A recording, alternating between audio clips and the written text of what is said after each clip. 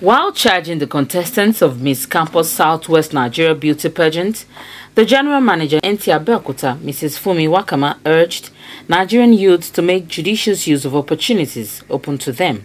She encouraged the contestants to acquire the necessary knowledge and entrepreneurial skills to better their lives in the future. I found it exciting being among such young, very vibrant ladies. Uh, the best we can do is to encourage them, which is what I've um, said to them. I've given them tips about life and I hope it will stay with them and that a lot of them will pick one or two things from all that I said to them today to guide them in their trajectory of life so that um, they become better people. While commending the organizers of the beauty pageant, Mrs. Wakama said that NTA Abeokuta is an already made platform which the contestants could explore and develop their talents through its rich news and programming content.